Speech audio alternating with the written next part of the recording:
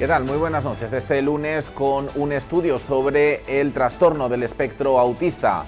La UMH participa en un estudio en el que se busca evaluar la utilidad para el tratamiento del TEA. Busca ayudar a los menores a reconocer y gestionar la información emocional, así como para mejorar el comportamiento. Vueltas al Palacio. El Partido Socialista denuncia que el presupuesto de la Diputación no contempla la redacción del anteproyecto del Palacio de Congresos. Sin embargo, la Administración Provincial anuncia que se incluirá con el remanente. Feria del Calzado. Varias empresas ilicitanas de los componentes para el calzado acuden a partir de mañana a la Feria Premier Vision de París para seguir consolidando clientes franceses. En los deportes, a tiro del ascenso directo, el Elche se sitúa a dos puntos tan solo del ascenso directo a primera tras su victoria por dos goles a cero ante el Burgos.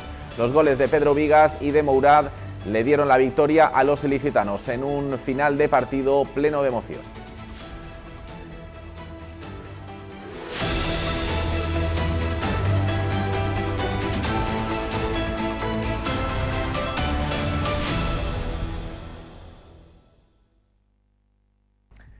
La UMH evaluará la utilidad de robots para el tratamiento del trastorno del espectro autista. El proyecto está centrado en aumentar la motivación y las respuestas emocionales de niños y niñas con este trastorno con ayuda de robots sociales. La Universidad Miguel Hernández de Elche, junto con la Universidad Politécnica de Cartagena, van a estudiar soluciones personalizadas que ofrecen robots sociales para mejorar el comportamiento y la respuesta especial de los niños y niñas con trastorno del espectro autista. El principal objetivo del proyecto es ayudarles a reconocer y gestionar la información emocional de los menores con problemas, para reconocer así las emociones. Según explica el doctor Eduardo Fernández, director del Grupo de Neuroingeniería Biomédica y del Instituto de Bioingeniería de la Universidad Miguel Hernández del Che, es un proyecto multidisciplinar en el que colaboran expertos de ingeniería biomédica, robótica, pediatría y neurorehabilitación. Para ello utilizan distintas técnicas como cámaras para la detección de gestos y técnicas de seguimiento de la mirada. Además, añade que los menores interaccionan con los robots siendo un juego para ellos y destaca que el foco del proyecto está puesto en las necesidades de los pequeños y no en la de los robots. José Manuel Fernández, catedrático de la Universidad Politécnica de Cartagena, destaca que el proyecto integra aspectos asociados a la ingeniería biomédica como técnicas de inteligencia artificial y nuevos robots de aspecto humano capaces de enseñar a los pequeños lo que significan las diferentes expresiones y emociones.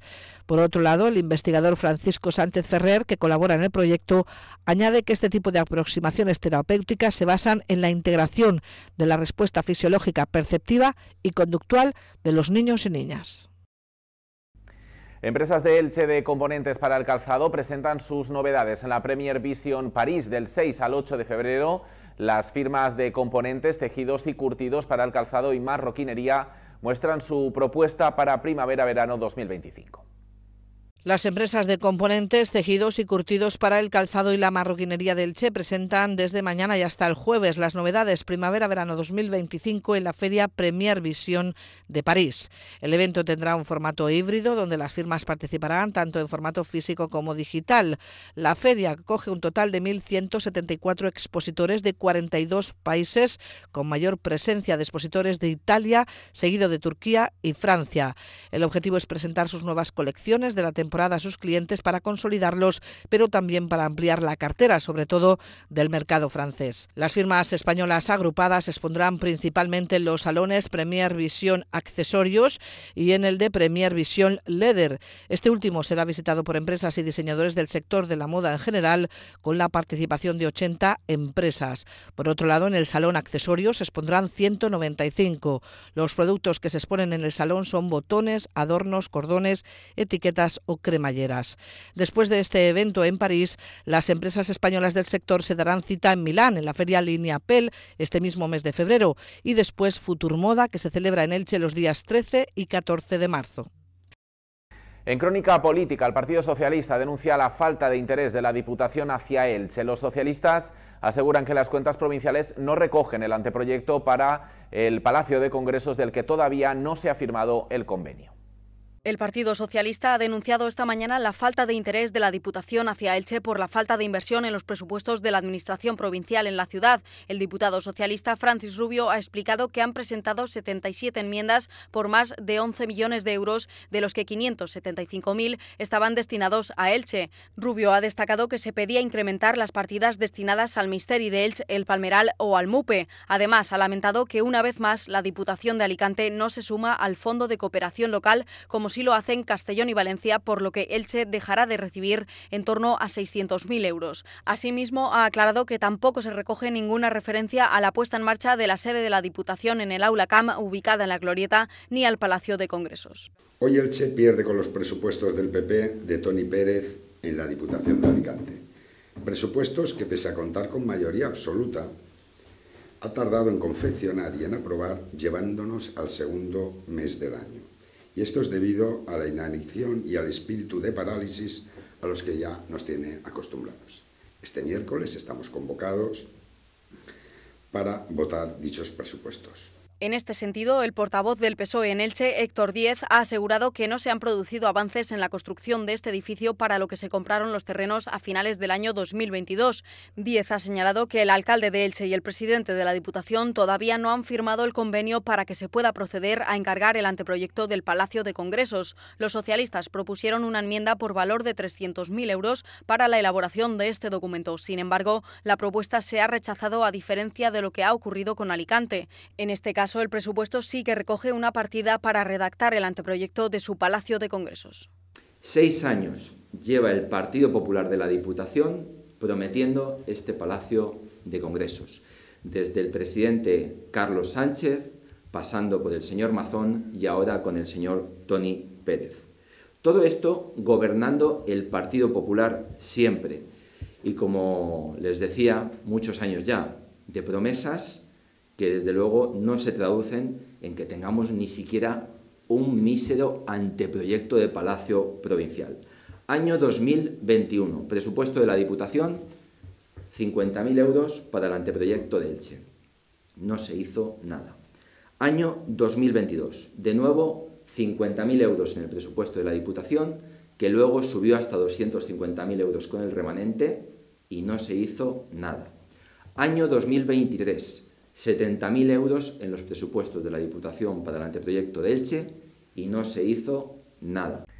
Frente a esto, la Diputación ha emitido un comunicado esta misma tarde para dar a conocer que se van a contemplar en los presupuestos más de 300.000 euros para la redacción del anteproyecto a cargo del remanente. Vamos ya con otro asunto. Elche celebra la fiesta de carnaval este mismo sábado. La cita se llevará a cabo en la Plaza de Baix con multitud de actividades dirigidas a todas las edades. Elche celebra este próximo sábado la fiesta de carnaval. A las 5 de la tarde dará comienzo la fiesta infantil, donde niños y niñas podrán disfrutar de hinchables y talleres de máscaras creativas. También habrá pintacaras o globoflexia. Una hora más tarde la fiesta comenzará con los cantajuegos desde el escenario situado en la Plaza de Baix. Además, contarán con la presencia de conocidos personajes como Papá Pitufo, La Pitufina, La Patrulla Canina, Goody de Toy Story, Pocoyo o Mini. Una vez finalice la actuación, los más pequeños podrán subir al escenario a hacerse fotografías con estos personajes en el fotocall. También tendrá lugar el sorteo de regalos para los disfraces más originales. La concejala de festejos del Ayuntamiento de Elche ha explicado que habrá un total de 30 premios para los más pequeños y jóvenes y un sorteo de 5 cenas para los disfraces grupales. Quienes deseen participar en el sorteo de regalos tendrán que inscribirse previamente en la caseta que se va a instalar el mismo sábado en la Plaza de Baix de 5 a 8 de la tarde. Habrá todo tipo de talleres, como talleres de globoflexia, talleres para confeccionar máscaras, talleres de pintacaras o incluso unos talleres pues de diferentes juegos.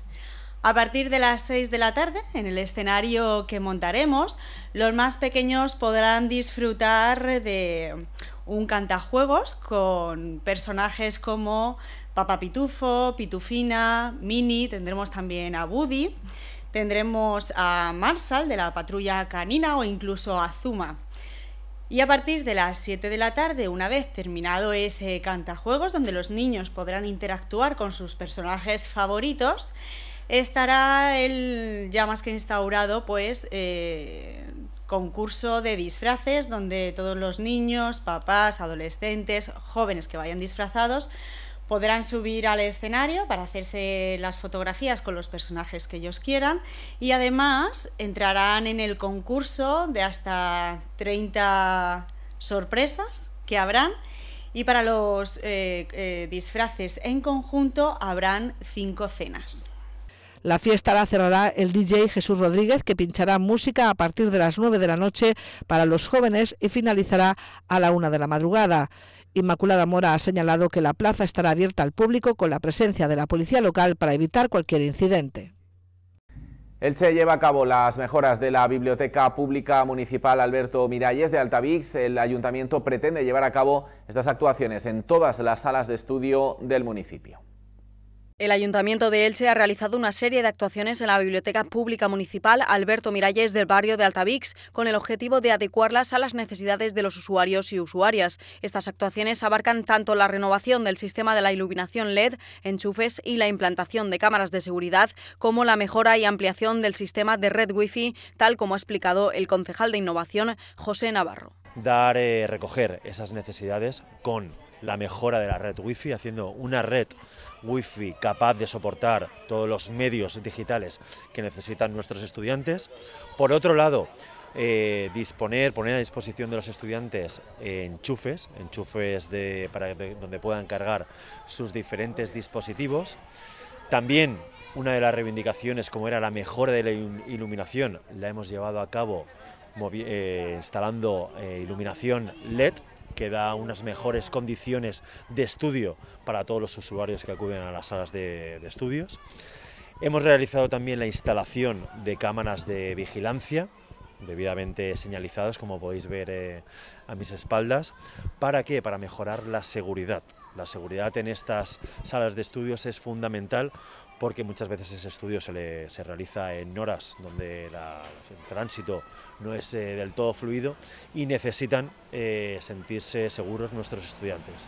Navarro también ha añadido que otra novedad es la instalación de una pantalla LED que muestra información relevante no solo del ámbito municipal, sino además de las diferentes opciones formativas y acciones culturales. Por su parte, la edil de Juventud, María Bonmatí, ha añadido que estas reformas parten de la petición de mejora por parte de los estudiantes. Asimismo, ha puntualizado que el ayuntamiento tiene la intención de llevar a cabo estas actuaciones en todas las salas de estudio del municipio. Peticiones históricas que han llegado a la Concejalía de Juventud desde hace muchísimos años, ¿no? Y entonces el gobierno municipal pues tiene el firme compromiso de mejorar todas las instalaciones, tanto educativas como las que competen para mejorar la formación de los ilicitanos y de los jóvenes ilicitanos. Y esta es prueba de ello.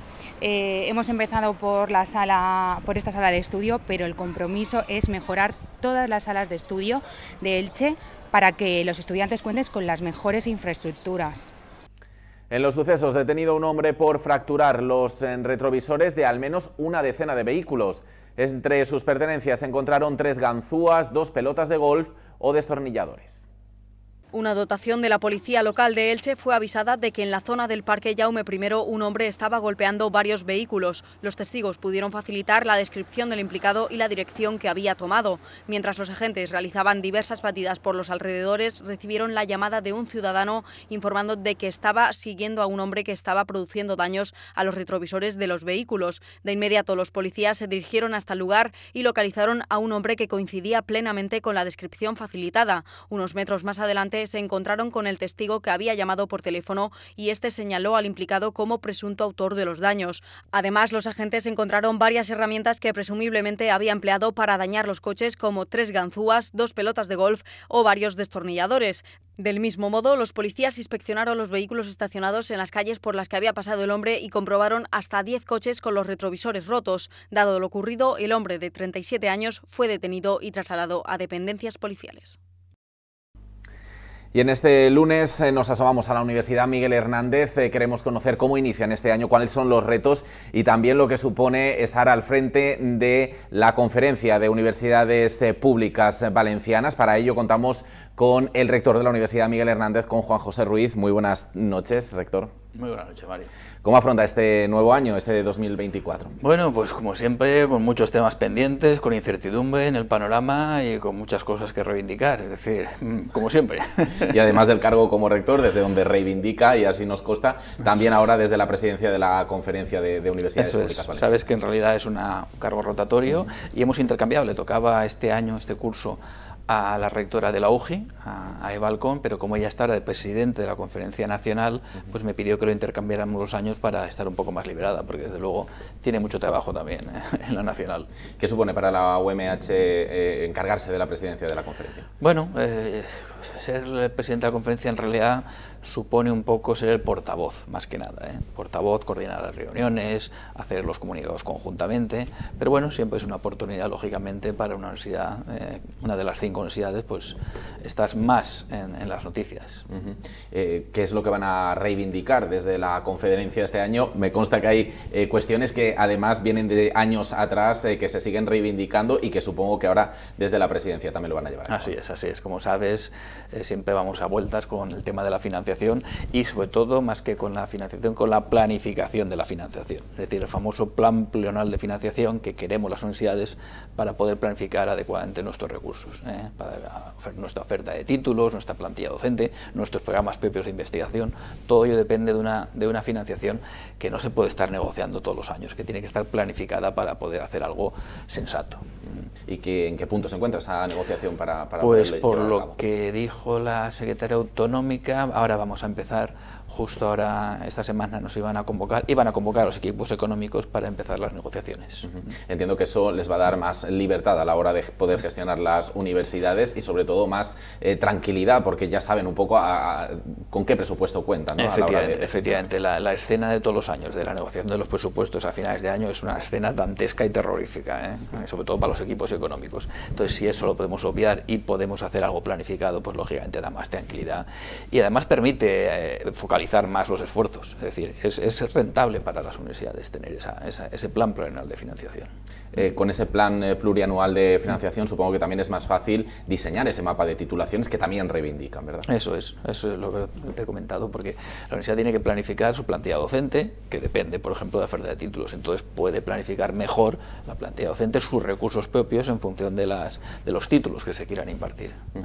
Eh, la Universidad Miguel Hernández cada año intenta incorporar nuevas titulaciones, intenta pues, mantener al día sus titulaciones para poder seguir atrayendo estudiantes. Eh, ¿Qué es lo que quieren hacer en este sentido de cara a los próximos años?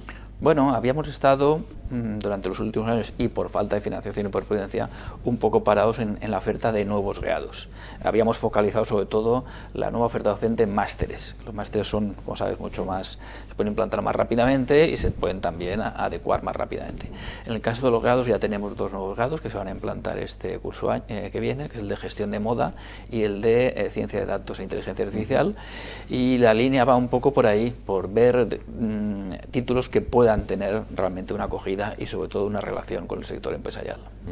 Y eh, aparte de estos dos cursos, no sé si la Universidad Miguel Hernández hablaba de la inteligencia artificial, que es un, una unos estudios que ahora mismo tienen eh, mucha demanda. No sé si hacia ese camino quiere trabajar la Universidad Miguel Hernández, que además siempre ha sido muy puntera en lo que tiene que ver con la tecnología. Efectivamente, ahí somos punteros en, la tecnología y punteros también en la docencia, porque sabes que tenemos programas propios de inteligencia artificial para nuestros estudiantes también, porque eso es, una competencia transversal, la inteligencia artificial, que tiene que empezar ya desde primero.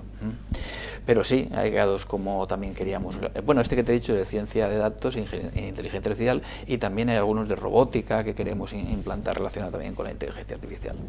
en lo que tiene que ver con las infraestructuras, también eh, trabajan año a año en modernizar las infraestructuras de la Universidad Miguel Hernández y del resto de, campus que conforman la universidad. Eh, ¿Cuáles son las actuaciones que se van a llevar a cabo y que se están llevando a cabo en estos? Bueno, ahí, este año va a ser bastante, bastante bueno en cuanto a, finalización de proyectos. Tenemos ya el balón implantado, uh estrenado ya, pero que el mobiliario que en el mes de febrero tenemos previsto ya que empiece su actividad tenemos el edificio departamental, un edificio enorme en el centro que ha estado parado, pero que a final de año pensamos que, que lo podemos recibir y empezar a utilizar porque tenemos ahora mismo escasez de aulas. ¿eh? Ahora mismo coincidirá, estamos planificando esta mañana, ¿eh? coincide selectividad con clases y ya tenemos problemas de aulas. Entonces, esos, dos, ese problema se va a resolver. Y luego en los otros campus también, en Altea tenemos otro edificio que se va a inaugurar ahora, ahora en, en marzo seguramente, en, el campus de Bellas Artes. Y en San Juan tenemos también otro edificio que también los problemas de espacio en San Juan son terroríficos y este va a contribuir a resolverlos, el edificio concesional Isande, que también lleva muy buena marcha, que posiblemente esté este año. Y en Orihuela también hemos hecho remodelaciones de edificios, en todos los campus tenemos, tenemos actuaciones. ¿Cómo está la situación respecto a medicina en la universidad? Estaba todo en ese proceso judicial eh, que, en el que están inmersos, en qué punto se encuentra y hacia dónde camina este asunto. Bueno, pues es un, como presidente de la CUP no me gustaría mucho hablar de medicina porque parece que esté utilizando eh, para un tema personal. Es un conflicto que está, está en ese punto y está de momento, el contencioso está puesto y, sigue su marcha. No sé, no te puedo decir los plazos porque en la justicia sabes tú que los plazos son a veces impredecibles. Pues eh, Juan José Ruiz, eh, rector de la Universidad Miguel Hernández, presidente de la Conferencia de Rectoras y Rectores de las Universidades Públicas Valencianas, le agradecemos que haya estado esta noche con nosotros. Muchas gracias.